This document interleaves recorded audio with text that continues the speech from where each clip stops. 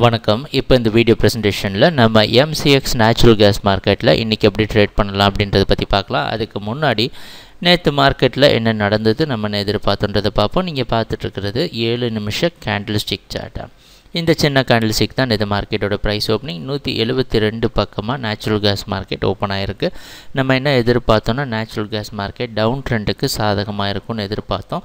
ஆனால் ஒரு விஷயம் நம்ம குறிப்பாக சொல்லியிருந்தோம். நூற்றி எழுபத்தி நாலு ஐம்பது நூற்றி எழுபத்தாறு இந்த இடத்துக்கு பக்கத்தில் வந்தால் மட்டும் செல் பண்ணால் போதும். செல் பண்ணி பார்க்கலாம். ஏன்னா நூற்றி எழுபத்தி ஏழில் ஸ்டாப் லாஸாக வச்சு ட்ரேட் பண்ணலாம். அப்படின்றது தான் நம்ம எதிர்பார்ப்பு. அந்த அடிப்படையில் ப்ரைஸ் ஓப்பன் ஆனதுக்கப்புறம் நம்ம எதிர்பார்த்த முதல் ஜோனான நூற்றி எழுபத்தி நாலு ஐம்பதை தொட்டுட்டு ப்ரைஸ் மறுபடியும் கீழே வந்திருக்கு. ஆனால் நூற்றி எழுபத்தி ரெண்டு ஒரு சப்போர்ட் கொடுக்க முயற்சி செஞ்சுது. ஆனால் அது பலன் கொடுக்காம தொடர்ந்து அடுத்த டார்கெட்டான நூற்றி எழுபது புள்ளி ஐம்பதையும் தொட்டிருக்கு.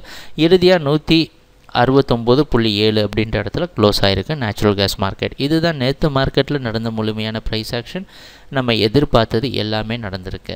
நேற்று மார்க்கெட்டோட க்ளோசிங் அதோடைய ஓப்பனிங்கை விட கம்மியாக க்ளோஸ் ஆகிருக்கு முன்னாடி நாள் க்ளோசிங்கை விடையும் கம்மியாக க்ளோஸ் ஆகிருக்கு அது மட்டும் இல்லாமல் முக்கியமான இடமான நூற்றி எழுபது புள்ளி ஐந்து மற்றும் நூற்றி எழுபத்தி ரெண்டுக்கு கீழே க்ளோஸ் ஆனது இன்னும் தொடர்ந்து நேச்சுரல் கேஸ் மார்க்கெட் செல்லிங்க்கு சாதகமாக இருக்கும் அப்படின்றத நம்ம எதிர்பார்க்க வைக்கிது.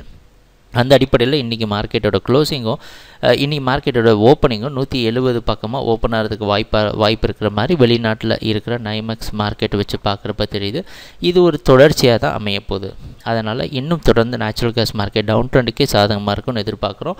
ஒரே ஒரு மாற்றம் மட்டும்தான். இந்த ஸ்டாப் லாஸை நூற்றி எழுபத்தி ரெண்டுக்கு மாற்றிருக்கிறோம் நூற்றி எழுபத்தி மூணு பக்கமாக ஸ்டாப் லாஸ் வச்சு ட்ரேட் பண்ணலாம்.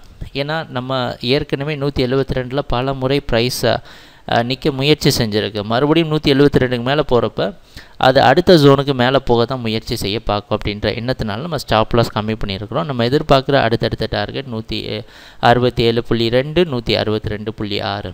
ட்ரேடிங் நடக்கிறப்ப பார்ப்போம் என்னென்ன மாற்றங்கள் வருதுன்னு. எங்கள் வீடியோ ப்ரெசன்டேஷனை தொடர்ந்து பார்த்துட்டு வந்ததுக்கு மிக்க நன்றி மகிழ்ச்சி வணக்கம்.